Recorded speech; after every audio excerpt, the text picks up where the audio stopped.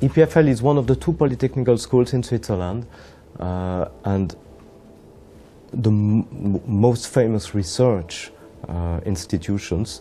Uh, at EPFL we are now about uh, 14,000 people, among which 10,000 students, including the PhDs, and three or 4,000 uh, people for research, researchers, actually, professors and researchers.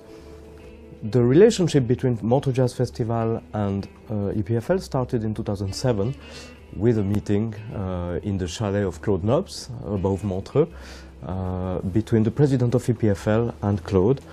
And uh, Patrick Aebischer, the president of EPFL, discovered this wonderful collection, all those tapes, uh, 5,000 hours of recording in video and the same in audio. And uh, here started the idea of digitizing everything because this was the only copy. There was a single copy.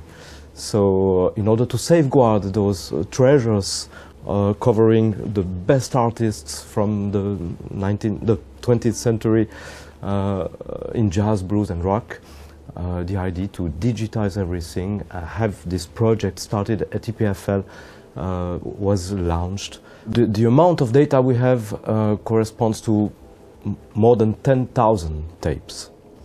Uh, and this, uh, this covers nearly 50 years. Uh, so in terms of storage, to be able and keep that in an uncompressed format, it would require 3 petabytes. On tape, it's much too difficult to get all the different uh, concerts and the different examples that you need in a database to start working uh, machine learning algorithms, many kind of things like this, you need a lot of data.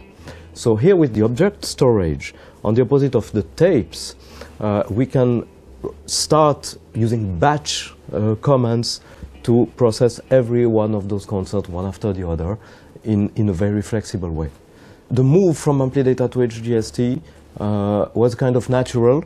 Uh, Amplidata was acquired by HGST we needed to get to another level of storage. Uh, we have now more data. We need to, uh, to uh, store the new data from every festival, a lot of terabytes coming every year.